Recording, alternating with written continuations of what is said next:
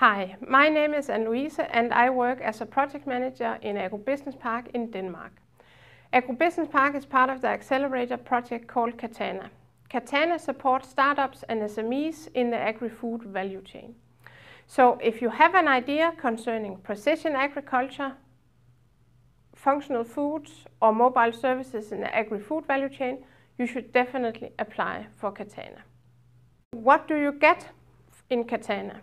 You get continued support and service throughout the process to develop your idea. You get knowledge on crowdfunding and you get knowledge on investment readiness. And furthermore, you have the chance to win 100,000 euros to get your product on the market.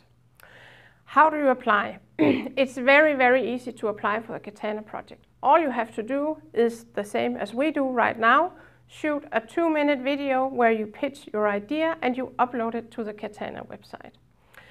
Um, you can read more about uh, the conditions and so on on the Katana website as well. Deadline is February 28th and all it takes is two minutes of your time and your idea, so why not do it?